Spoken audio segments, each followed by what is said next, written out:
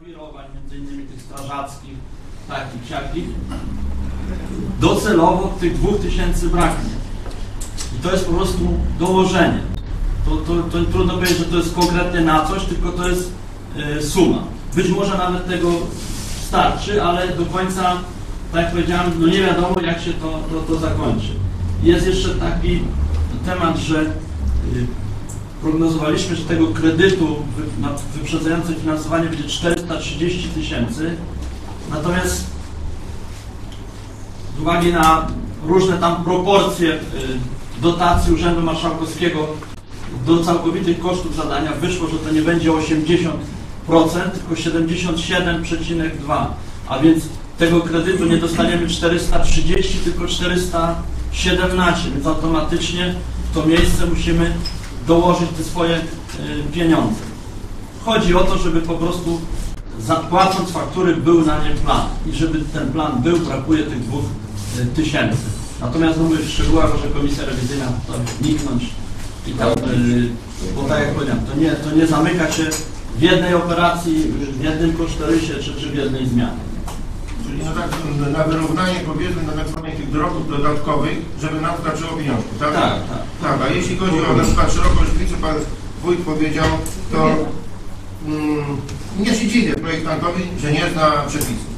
Bo na glinę był robiony kompletny projekt o cały obiekt i projektant nie określa w projekcie już założenia, że te drzwi nie spełniają norm. Jeśli chodzi o szerokość. Znaczy, wie pan, y, my jakby, bo tutaj y, to jest jakby sz- szerszy wątek, ale mniej więcej sprowadza się do tego, że kiedyś powstał zakres projektu i w tym zakresie projektu to był dach, ocieplenie, malowanie, coś tam, nie? W tym czasie y, nikt y, nie, nie zwracał uwagi na drzwi, bo te drzwi były od zawsze, nie? Tak jak w Glinie, w Woli Rokrzyckiej. No i później jest bud- oddanie budynku do użytkowania, no i okazuje się, że zmieniły się przepisy i, strażak mówi, że żeby było 100 osób, to muszą być takie drzwi, a jak będzie 50, to mogą być takie. są od 95 Natomiast trudno mieć tutaj pretensje y, do, y, do projektanta, że się tym nie zajął, bo nie był taki zakres. To tak samo jak z tym y, placem w Bogdanowie. Był, była zaprojektowana palisada i myśmy palisadę wykonali. Natomiast mówiąc tutaj, podnosząc dyskusję, sprawiałem wrażenie, że miała być y, murek, a myśmy zrobili co innego. I to samo jest i, i tutaj. Projektant tak zaprojektował, nie uwzględnił tego, dzisiaj trzeba to zmienić. 2000 zł to jest na wykończenie tych wszystkich inwestycji. Panu, jeszcze raz. Jeszcze raz. Jako króciutko trzeba zdania. Niech pan weźmie pod uwagę to, że budżet to jest plan. To nie jest ściśle, precyzyjnie określona kwota na wykonanie inwestycji X. Bo ściśle określimy kwotę wtedy, jeżeli rozstrzygniemy przetarg. I teraz, jeżeli ja mam w budżecie 100 tysięcy złotych, czyli pieniądze przeznaczone na tą inwestycję, jeżeli po przetargu wyłonię wykonawcę za 80 tysięcy złotych, to jeszcze te dwa- 20 tysięcy mam do dyspozycji na różnego rodzaju roboty dodatkowe, wykończeniowe, wymagania i myślę, że Pan się tu ze mną zgodzi, bo podobna sytuacja była w Krzyżanowie, że jeżeli coś dodatkowo trzeba wykonać, czego nie można było wcześniej przewidzieć, to dla estetyki tego budynku żeby potem nie mieć zarzutów odnośnie jakości, trzeba to zrobić. Ale jeżeli w pewnym momencie brakuje mi, czyli już dodatkowo, czy jak mówię, dałem przykład tych drzwi, trzeba jeszcze dodatkowo te drzwi i już mi ta kwota przekracza ponad 100 tysięcy, to ja wówczas występuję tu na Radę, żeby do tej inwestycji dołożyć jakieś tam brakujące pieniądze. I brakuje nam w tym całym rozliczeniu tych 2000. Panie Wójcie, to Dziękuję. Już zakończymy sprawy temat, I jeszcze, jeszcze słowo y, ten i, i radny. Ja mam, Szanowni Państwo, w trakcie przysłuchiwania się tej dyskusji zrodził mi się taki pomysł. Otóż uważam, że e, budowa parkingu jak najbardziej jest bardzo zasadna w Woli Krzysztopolskiej. Wszyscy wiemy, jak jest zagrotowana wola i brak jest tych miejsc parkingowych. Natomiast ja, Szanowni Państwo, mam takie pośrednie rozwiązanie. I to jest mój wniosek. Uważam, że powinniśmy przystąpić tylko do budowy parkingu. Natomiast uważam, że z budową drogi, możemy się na razie wstrzymać, poczekać jeszcze. Po raz, ale dobrze, To podzielimy wydatki na nie. Dlatego żeby sam parking tylko wybudować. Tak, jeżeli tu określimy tylko parking, to ja mogę zlecić koncepcję na parking. A potem się może okazać, że mieszkańcy, większość powie drogę też. I znowu będziemy procedurę yy, uruchamiać. Ale parking jak najbardziej jest bardzo potrzebny. Proszę jeszcze pan radny się odniosę do słów wójta, ale zdaniem powiem skarbniku, doskonale wiemy, że tu zaprojektowany był murek, który- o czym myśmy dużo dyskutowali na sesji o wysokości, o zmniejszeniu kosztów, a że wyszło później inaczej, no to, to już jest, nie będę wnikał. Ale też jest to w projekcie Jest to w projekcie zmienione. No, zmiany nieistotne, tak jak powiedziałem, żeby zmienić domek na szopkę, to też są zmiany nieistotne. Tu można mieszkać i tu można mieszkać. Panie wójcie, odniosę się do tych słów, jeżeli chodzi o ten punkt, o którym mówimy.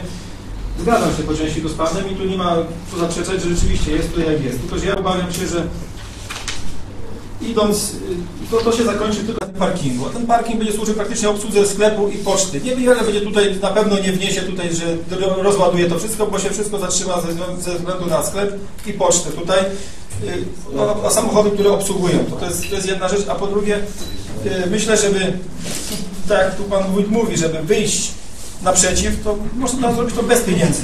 Zrobić spotkanie z mieszkańcami, to nie jest problem chyba, zrobić, z których mają tutaj, są właścicielami tych działek, ustalić listę, którzy są za, którzy przeciw, podjąć decyzję. Jeżeli jest taka wola mieszkańców, proszę Jest bardzo, jestem pierwszy za, który, no ale Pan to mówi, ale jeszcze Pan nie ma czarno-białe. W sensie Pan to potwierdza, w innym Pan trochę zaprzecza, no nie wiadomo, czy się wszyscy zgodzą, czy nie. I że czas tą drogę można robić, bo po to ta działka jest, żeby właśnie udrożnić te, te działki, te tutaj, no te działki, które jak gdyby umożliwiły tutaj budowę i tak dalej. Było atrakcyjnie to wszystko. Dziękuję. Czy są jeszcze pytania?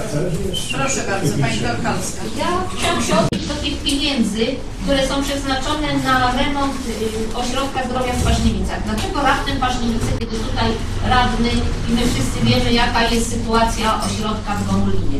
Raz, że jest zalany, nie spełnia wymóg na dzień dzisiejszy i tutaj ni stąd, ni zowąd 10 tysięcy na Paźniewicę. Dlatego, że najpierw oczywiście starostwo wystąpiło z prośbą o udzielenie pomocy na e, zakup sprzętu medycznego. Cośmy wprowadzili do budżetu i ta kwota w budżecie jest. Następnie wystąpiło z prośbą o dofina- dofinansowanie drogi powiatowej w Parzewicach.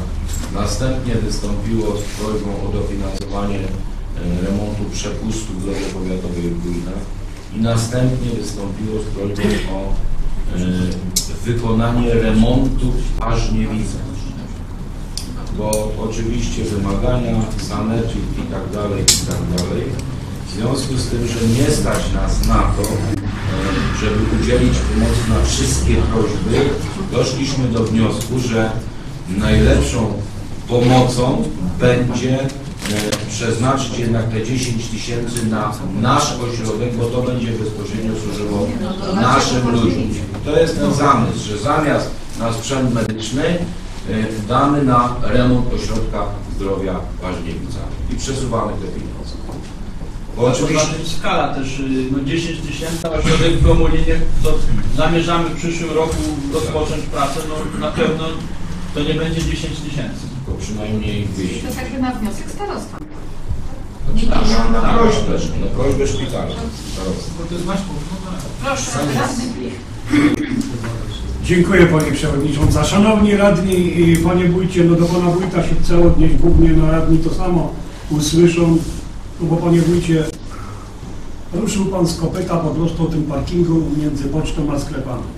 A jak tu kolega Olejnik i wiele innych powiedziało, że to służy i dla kogo? Dla poczty i dla Pana Bednarczyka, jeśli się dobrze, i dobrze mówię, jeśli się nie mylę pod nazwiskiem, do sklepu. Dla Urzędu Gminy no jest to kawałeczek odległości i tak parking, parking, tylko upór tylko. Komu będzie służyć, to już wiadomo. Ja bardzo proszę o ten parking na tej, przy tej szkole w Gumuliwie. Jak Pan powiedział, że jak się powiedziało A, trzeba powiedzieć i B. Panie Wójcie, szkoła oddana do użytku, zabezpieczenia parkingowego nie ma i nie ma. I nie mogę się doczekać. Nie chcesz Pan nic odpowiedzieć. Gdybyś Pan dzisiaj już wystąpił do Rady o 23, o 30, o pieniądze na projekt, proszę pana. Nigdy by było widziane, że w nowym roku, nie w tym, że się może zrobić. Nic o tym nie mówisz, tylko jak tu. A proszę pana, miejsca pan kogo woli, ja tutaj nie będę tu kolegom z woli ubliżał nikomu, no naprawdę teraz co powstało pod jednym sklepem, pod drugim i tego. Pewnie, że dobrze by było, gdybyśmy mieli tu hektarowy parking naprzeciwko Urzędu Gminy. No na pewno byśmy się cieszyli, że mamy piękny zajazd, ale nie ma, nie ma. Trzeba w przyszłości myśleć, żeby to plac wykupić w koło urzędu, z tyłu, czy urząd gminy rozbudować, oczywiście z parkingiem. A tutaj tak dla kogoś po prostu, tylko dla poczty, dla kogo? No, że to są mieszkańcy nasi, zgadzam się, ale chyba szkoła jest. Zakończmy może tą dyskusję, panie Ale wójcie, no bo bo chciałem tylko panu panie radny, panie Józefie. Pan użył takiego sformułowania. Dlaczego pan nie wystąpił dzisiaj jeszcze e, o przyznanie 30 tysięcy na... Nie, nie, to zamian, panie wójcie, zamian tego. Panie Józefie, gdybym ja miał takie możliwości rzucania 100 tysięcy, 200, 500 tysięcy, to ja bym tu dzisiaj wystąpił e, z dziesięcioma inicjatywami. Nie rozumiemy się, właśnie nie rozumiemy. Trzeba pamiętać, budżet jest ściśle określony. Jeżeli tylko mi się e, resztują jakieś pieniądze z jakiejś inwestycji, to nie mogą być sztuczne pieniądze. Są te pieniądze, bo akurat z tej drogi na e, powiatowej zostało te parę groszy. I ja rozważam, Ale coś jest pierwsze uważam. no właśnie to jest to pytanie. Co jest pierwsze, co jest drugie? Tu tylko na procedurę. Jeżeli chodzi o parking mm, e, w Gomulinie, to niech Pan pamięta, że parking rozbudowaliśmy. To, co Pan próbuje tam zarzucać, że roboty dodatkowe. Między innymi dzięki robotom dodatkowym, jakie wprowadziłem w Gomulinie, mamy większy parking. Bo pierwotnie, zgodnie z projektem, ten parking był o połowę mniejszy. A wprowadziłem, wprowadziłem to dzięki temu, że w jakimś tam momencie mi się zresztowały pieniądze. I dzisiaj temat, proszę Państwa, temat parkingu mm, Woli Krzysztoporskiej to nie jest temat, y, z którym się y, obudziłem wczoraj, przedwczoraj. To jest temat, który trwa od dawna. To, co powiedziałem, uchwała jest podjęta dawno. Y, I czas najwyższy tą y, tą procedurę rozpocząć, bo tu przychodzą do mnie mieszkańcy, narzekają, że jest bardzo duże natężenie ruchu. Widzi Pan, jak y, w godzinach szczytowych przejeżdża się przez ulicę y, Kościuszki. Zresztowały się te pieniądze i dlatego te pieniądze przeznaczyłem y, na ten parking. Proszę Państwa, nie można również mówić, że w okolicach mamy inne parkingi. Mamy prywatne. Chwilę, chwilę, powoli. Natomiast niestety rozładowanie natężenia ruchu mm, należy do zadań y, gmin. I to będzie par parking gminny, publiczny, na którym wszyscy mogą się zatrzymać. Natomiast niestety nie mamy gwarancji na to, że przed Biedronką właściciel prywatny cały czas będzie pozwalał na parkowanie. W pewnym momencie wprowadzi opłaty, wolno, bo to jest ich y. Natomiast, natomiast tu chodzi o lokalizację. Bo jeżeli ktoś y, przyjeżdża do Woli Krzysztoporskiej, to najwięcej spraw do załatwienia jest w centrum. Jest poczta, jest sklep, y, jest y, jakiś tam y, no, y, urząd gminy, jest sieć sklepów po drugiej stronie i dla wygody mieszkańca to jest właśnie zatrzymać się tu. No trudno by było, żebyśmy powiedzieli tak, chcesz na pocztę, ale parking będziesz miał pół, pół kilometra dalej. I druga sprawa, to co już dzisiaj mówiłem. Mamy tam działkę i trzeba ją wykorzystać. Nie może temat wisieć. Ja nie rozumiem, dlaczego my tutaj tak długo rozmawiamy o oczywistej sprawie, którą trzeba rozpocząć. Jeszcze raz podkreślam, duże pieniądze na ten cel będziemy wydawać dopiero za 2-3 ale procedurę trzeba rozpocząć. I, I jeszcze tutaj, nie, to już odpowiedziałem. W każdym razie droga sama wyjdzie. Jeżeli oczywiście mieszkańcy powiedzą, że nie, większość nie będziemy uszczęśliwiać. Natomiast parking jest tutaj bardzo zasadny, bardzo istotny z punktu widzenia lokalizacji właśnie w tym. Dziękuję bardzo.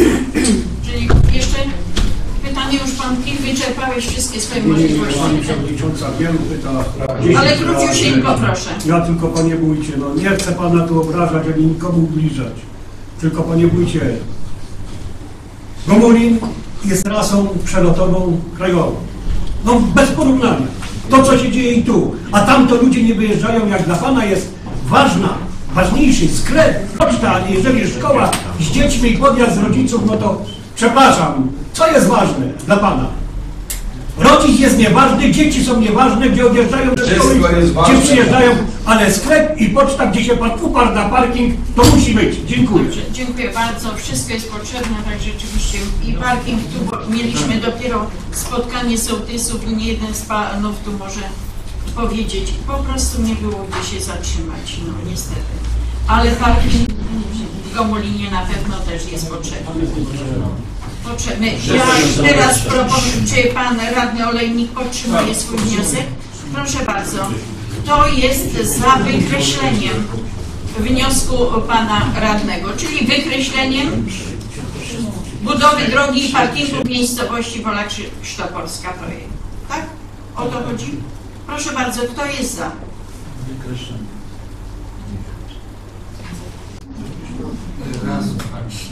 Aśka?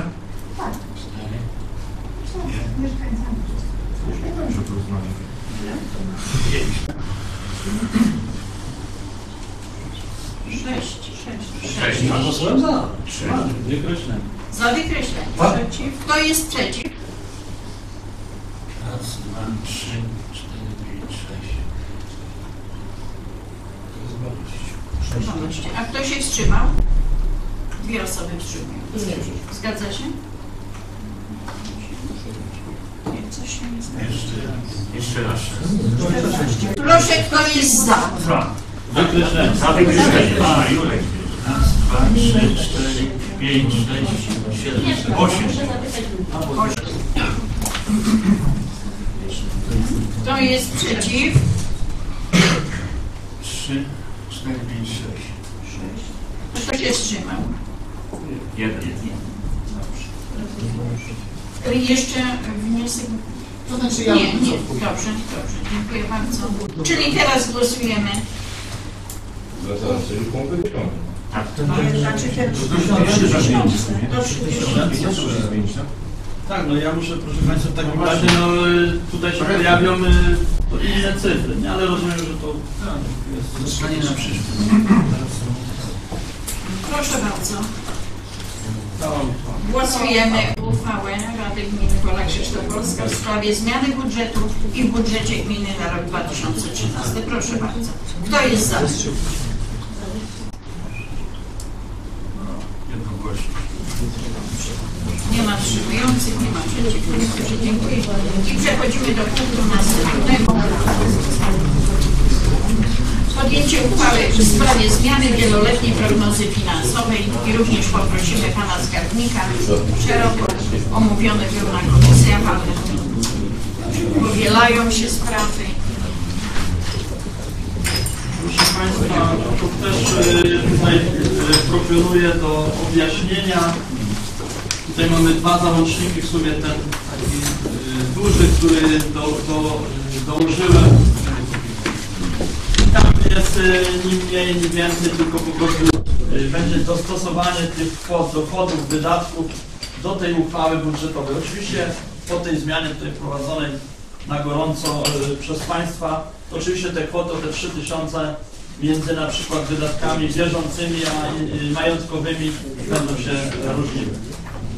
Majątkowe się zwię- zmniejszą, a y, te y, po prostu się zwiększą. Bo to tam jakieś oszczędności. I tak naprawdę reszta to się sprowadza do tych smaków królowej Bony, do gopu. Tutaj w związku z tym, że to zadanie było od jakiegoś czasu w tym załączniku numer 2, więc teraz jeśli tam zmieniamy kwoty, to oczywiście ten załącznik numer 2 y, musi odpowiadać tym kwotom, y, jakie żeśmy ustalili. Również e, te domy ludowe w Glinie, Woli Ruczyńskiej i Laskach też jest nadanie w tym załączniku numer 2, wykazie przedsięwzięć i tam jeśli w 2000 jest zwiększenie, to to również to ma swoje odzwierciedlenie. I ta część wprowadzono do WPF na lata 2013-2014 nowe zadanie pod nazwą budowa drogi i parkingów, no to oczywiście ja tutaj z tego e, panowie. Natomiast y, jeśli chodzi o, o kwotę długu, o, o wysokość rat, y, te wskaźniki, no to to generalnie nie ulega zmianie. To jest konsekwencją tylko pod- wcześniej podjętej uchwały.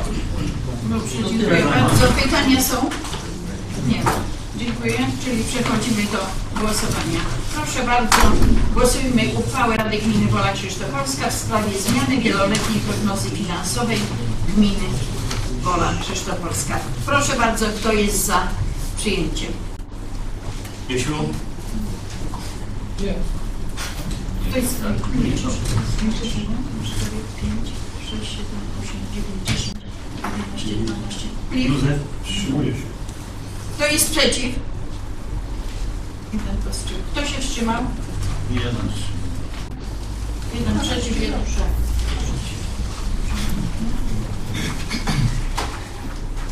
Proszę punkt następny, czyli podjęcie uchwały w sprawie udzielenia pomocy finansowej powiatowi światłowskiemu na dofinansowanie działalności warsztatów terapii zajęciowej w Sulejowie w ramach wsparcia dla osób niepełnosprawnych.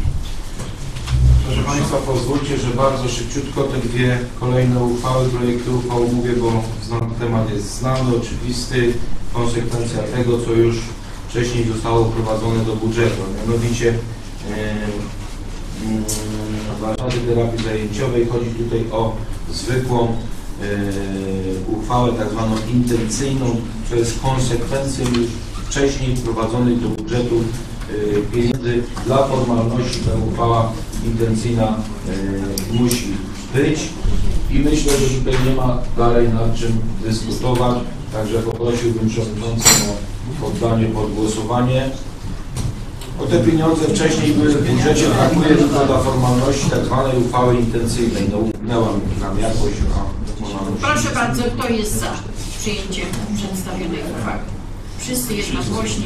Dziękuję bardzo. I podobna sytuacja odnośnie punktu 9, czyli zmiana uchwały yy, sprawie udzielenia pomocy rzeczowej znowu powiatowi pestowskiemu na wykonanie przepustu kolektora yy, w miejscowości Oprzężu. Ponieważ w poprzednim yy, projekcie uchwały było, był zapis yy, droga w Oprzężowie, no to nie spodobało się trochę zarządowi dróg powiatowych, ponieważ to miejsce tego kolektora, no ta droga oczywiście w Oprzężowie też jest, ale to miejsce tego kolektora mieści się w obrębie pod tytułem Kolonia Oprzężu. I w związku z tym trzeba, to doprecyzować, czyli wprowadzić, że no, skoro tak sobie zarząd dróg powiatowych życzy, m, że to jest kolonia obszerzu i to nie zmienia e, faktu, nie hamuje, że tak powiem, tych działań, które e, już e, podjąłem. Jest już wyłoniony projektant, który e, zrobi stosowny e, projekt i uzyska pozwolenie wodnoprawne, bo niestety e, takie pozwolenie trzeba będzie uzyskać. Jest wyłoniony m, projektant na kwotę e, 14 tysięcy złotych. To jest na razie, to są na razie pieniądze na procedurę, natomiast być może w przyszłości najbliższej, przypuszczam, że nie później niż w przyszłym roku, może braknąć pieniędzy na e, zrealizowanie. Chociaż w budżecie mamy, jak dobrze pamiętam, 24, bo będziemy e, chcieli to zrobić przy pomocy e, własnych e, sił, własnych e, maszyn i ludzi do tego To nie w tym roku, nie będzie już. No w tym roku się nie uda, bo najpierw procedura, czyli pozwolenie wodnoprawne. No. Woda szybciej leci. Panie Józefie, Pan nie odpowiada za to, ale ja niestety odpowiadam za to, że żeby inwestycja realizowana przez gminę nie była tak zwaną samowolną budowlaną.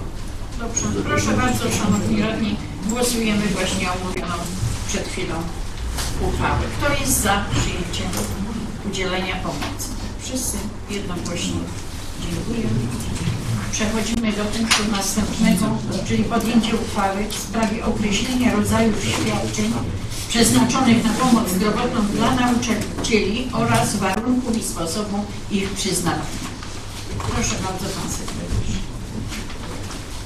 Szanowni Państwo, tę uchwałę podejmowaliśmy podobnej treści 4 września. Przypomnę tylko Państwu, że e, świadczenia dla nauczycieli przyznaje organ prowadzący po uchwaleniu budżetu przez Radę Gminy. Te środki e, w naszej gminie, gminie wynosiły około 60% wynagrodzeń wszystkich nauczycieli. Dlaczego tak długo zajmujemy się tą uchwałą. Otóż y, ustawa mówi, że y, organ prowadzący przyznaje, przyznaje środki, natomiast Rada Gminy określa wielkość. I nic więcej w tym zakresie y, w tych, tych rozporządzeniach, uchwałach nie ma. Regulaminy przyznawania określają właśnie, przyjmują Rady Gminy i tych regulaminów jest y, w każdej gminie, każdy jest inny. Dywagacje dotyczące zmian tej uchwały są właściwie akademickie. Na poprzedniej sesji podjęliśmy uchwałę, że dyrektor również jest takim organem, który może te środki przyjmować, przyjmować, przyjąć. I skieruje ten wniosek do wójta. Wójt oczywiście y, zgodnie z procedurą przyznaje, de facto przyznaje. Wojewoda uznał, że dyrektor nie ma prawa mieszać się, że tak powiem, e, w środki, które przysługują organowi prowadzącemu. E, Zmieniliśmy również e, przy, e, w ostatniej uchwale terminy e, składania wniosków przez nauczycieli i terminy, kiedy e, wójt e, przyzna, ma obowiązek przyznać te środki. E, Wojewoda nam uchyli tą uchwałę właśnie tylko z tej przyczyny, że dyrektor nie może przyznać tych środków. My również wnieśliśmy w poprzedniej uchwale zmiany, że nie mogą to również tym zajmować się komisje powołane przez dyrektorów, czy jakiekolwiek komisje, komisje ponieważ orzeczenia są takie, że tych komisji nie powinno być. Dlaczego o tym mówię? Otóż e, każdą e, taką uchwałę w sprawie przyznania świad, e, świadczeń opiniują związki zawodowe nauczycieli. I my również wysłaliśmy takie pismo do związków zawodowych już z treścią tej ostatniej uchwały i związki oczywiście zakwestionowały cały ten regulamin. Wnoszą, że terminy są nieodpowiednie, że nauczyciele przewlekle, chory mogliby z tego nie korzystać, nie wiem na jakiej podstawie sądzą. W każdym razie na szczęście e, opinia e, związków e, zawodowych nauczycieli nie jest wiążącą dla organu prowadzącego i dla Rady Gminy. E, Przyjęliśmy treść e, tej uchwały zgodnie z życzeniem wojewody, wykreśl- wykreśliliśmy ten fragment dotyczący dyrektora i kwestia przyznawania y, tych świadczeń leży tylko po, po stronie organu prowadzącego. Tam związki również e, próbowały powołać, e, sugerować, żeby została powołana komisja, e, która będzie badać te wnioski. Komisja złożona przedstawiciela organu prowadzącego, związków zawodowych i jeszcze przedstawiciel gminy, przedstawiciel dyrektora i sz- szkół i przedszkola, przedstawiciel związków zawodowych. Z tych osobów e, miałaby się składać komisja. Proszę Państwa, z doświadczenia wiemy, że y, dyskusje wszelkie w tych komisjach zawsze się źle kończyły, było dużo chaosu, chaosu bałaganu i y, myślę, że najrozsądniejszą teraz y, projektem tej uchwały jednaką jest nas stać, to jest ta treść, którą Państwu przedstawiliśmy y, i bardzo proszę o przegłosowanie Państwo macie tekst tej. Proszę bardzo, Pani Radna Sala. No nie mogę się zgodzić tutaj z słowami pana sekretarza, że z doświadczenia dotyczące jakiejś tej komisji, nie wiem, nie wiem z jakiego doświadczenia pan sekretarz to mówi, bo oczywiście chyba w komisji nauczycielskiej y, zdrowotnej nie pracował, więc y, tutaj inne pojęcie. O co przepraszam? Z doświadczenia. Y, Ja nadal utrzymuję, że no w tej chwili to pan wójt tak naprawdę to nie wiem, jak, jak będzie przydzielał te wnioski. Ale żeby zamknąć, bo może niepotrzebnie jest to pytanie. Otóż pamiętacie Państwo, na poprzedniej sesji mówiliśmy, że zgodnie z orzeczeniem nie powinno być orzeczeniami, nie tylko jedno jest. Nie powinno być żadnych komisji. W związku z tą ta tendencja. Yy, W związku z tym uchyliliśmy tą uchwałę z 2007 roku, bo tam były komisje, które zgodnie z orzeczeniami sądu nie... Także w ogóle ta mowa o jakiejkolwiek dys, dyskusji jest Dobrze, dobrze, proszę bardzo, Jest proszę. uchwała i dyskusja powinna być, przepraszam, i to chyba my decydujemy, czy będziemy dyskutować. To jest. Ostatecznie wojewoda. Dokładnie. Ja tylko nadal chciałam się dowiedzieć, w związku z tym, że skoro Pan Wójt decyduje teraz o zasiłkach zdrowotnych nauczycieli, yy, jak będzie z tymi pieniędzmi? Czy będą kule po prostu tak jak były na szkoły, czy to Pan Wójt globalnie będzie decydował? No bo wiemy, że to były na szkoły, im więcej pracowników, ta kwota była większa, mniej pracowników, kwota była mniejsza. I jakie kryteria będą?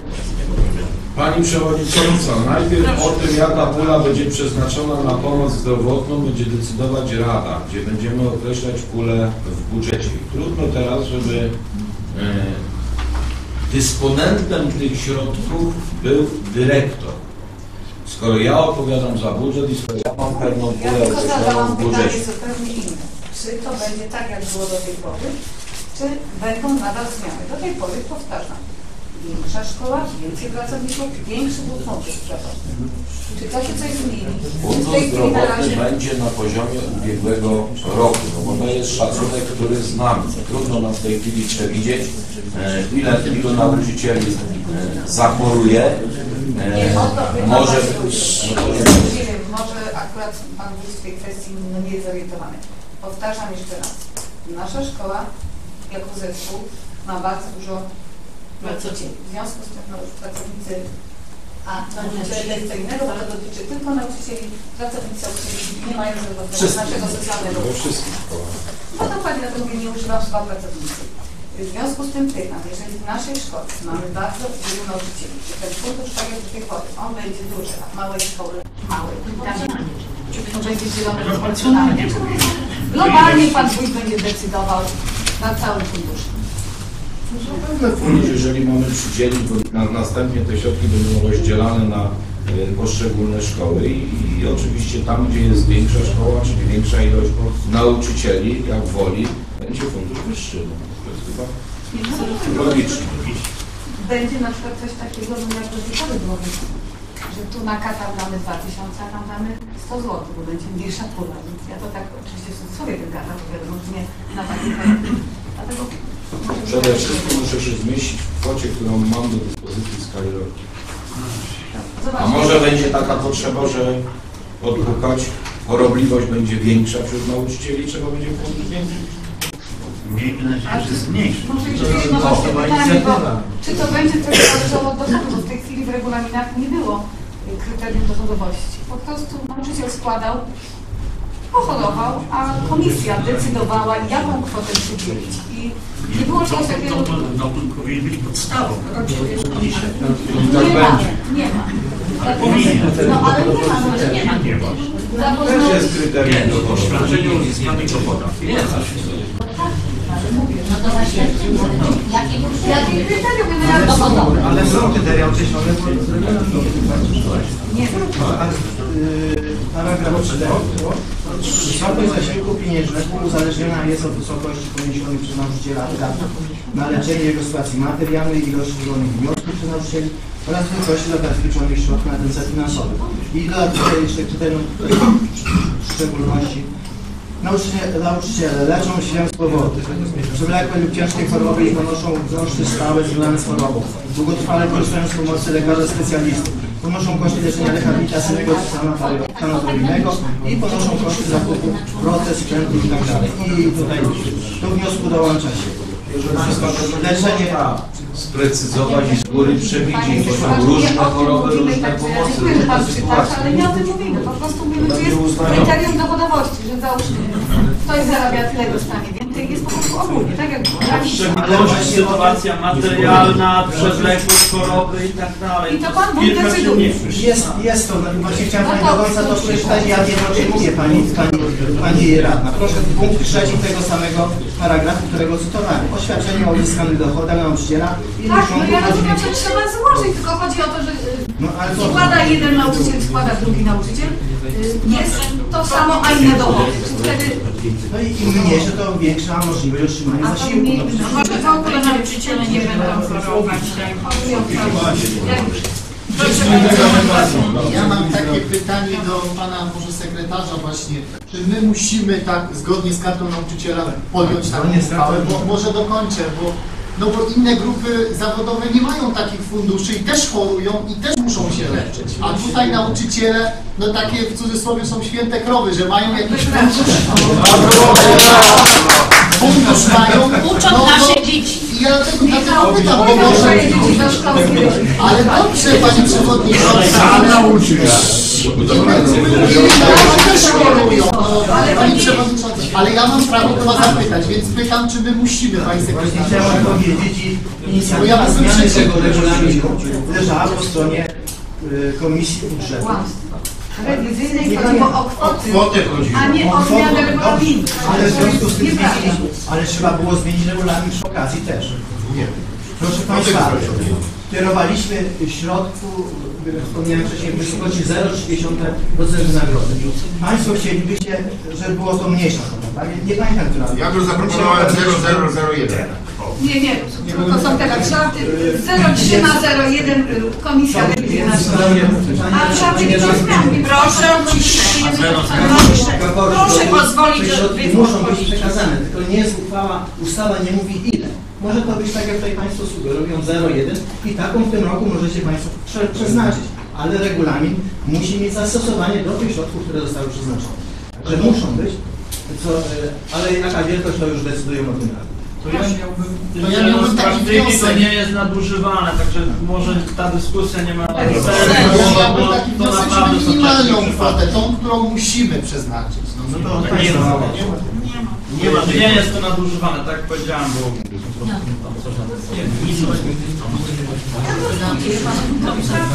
Rozumiem pytania się wyczerpały. Czy wniosek Michał? To znaczy, no podtrzymuję, żeby to była minimalna kwota.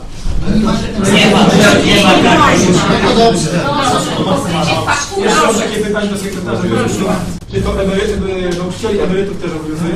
Tak, Wszystkich. A Proszę bardzo, proszę bardzo, przegłosujmy omówioną przed chwilą y, uchwałę Rady Gminy w sprawie określenia rodzajów świadczeń przeznaczonych na pomoc zdrowotną dla nauczycieli oraz warunków, sposobu ich przyznawania. Proszę bardzo, kto jest za?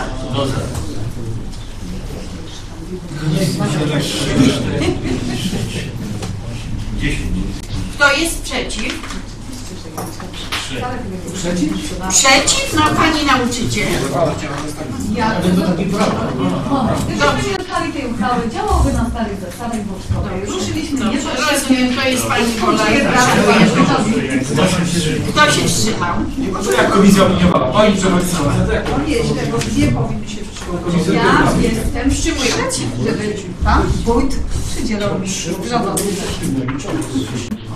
Jeszcze raz. Jeszcze raz. Kto jest za? Kto jest za?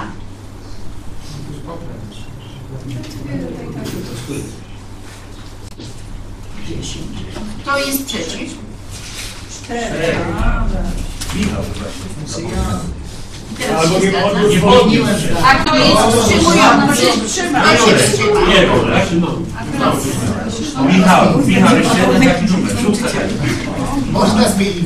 No ale to jak się głosuje, no to się No, ale... Nie, nie, nie. Szanowni Państwo, teraz proponuję 10 minut przerwy. 15, no dobrze. Proponuję jeszcze jeden punkt. Przerwa jest świętem. Zaczynać. Pani skarbnik jest. Szanowni Państwo, kontynuujemy dalej posiedzenie, czyli poprosimy Pana Skarbnika o sprawozdanie z pierwszego półrocza 2013 roku. Bardzo proszę. Proszę Państwa, jest taki obowiązek wynikający z ustawy o finansach publicznych, y, że y, po pół roku robi się wykonanie y, budżetu na to półrocze. Tym, że proszę Państwa, no w tym momencie to są już dane historyczne i w jakimś sensie jest to miarodajne, co się tam wydarzyło przez te pół roku, natomiast generalnie y, to dopiero cały rok y, jakby świadczy o tym, jak ten budżet został wykonany. Ale będąc jak w tej zgodzie z ustawą, Proszę o ciszę. y, parę po prostu zdań na ten temat y, powiem. Jeśli chodzi o dochody budżetu gminy za pierwsze półrocze 2013 roku zaplanowane na poziomie 37 milionów 782 269 zł 38 groszy. Zrealizowane zostały w wysokości 20 milionów 319 856 79 groszy. To jest 53,78 planów. Gdyby patrzeć na procenty, no to jest lepiej yy, niż by to wychodziło, bo na półrocze no, powinno być 50%. Natomiast tak naprawdę wszystkie dochody, e, można powiedzieć, e, idą zgodnie z, z planami. Natomiast e, tutaj mieliśmy zaplanowane milion złotych ze sprzedaży majątku. Na ten moment, na 30 września, nawet dzisiaj, jest tylko tych 1502, pół miliona. Ale mamy na połowę listopada rozstrzygnięcie przetargu na szkołę y, w Rukrzycach i ona jest wyceniona na te 480 y, tysięcy, więc y, jest duża szansa, że te dochody będą zrealizowane. I również do niedawna był problem z bujnami, ze salą gimnastyczną, bo tutaj z kolei z Ministerstwa Sportu 400 tysięcy na to mamy. Dzisiaj już wiemy, że ten odbiór będzie ostateczny, wystąpimy do ministerstwa i te 400 tysięcy y, dostaniemy. Jest jeszcze kwestia y, udziału w podatku dochodowym od osób fizycznych, ale tutaj no, na ten moment to się rozjeżdża o jakieś od 100 do 200 tysięcy, ale są inne jakby paragrafy dochodów, gdzie to wykonanie jest lepsze. Jest tam też przeszacowanie w podatku od czynności cywilnoprawnych osób fizycznych.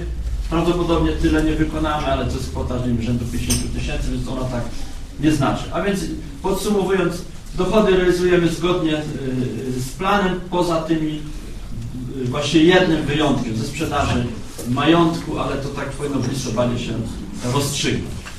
Jeśli chodzi, proszę Państwa, o wydatki, to tutaj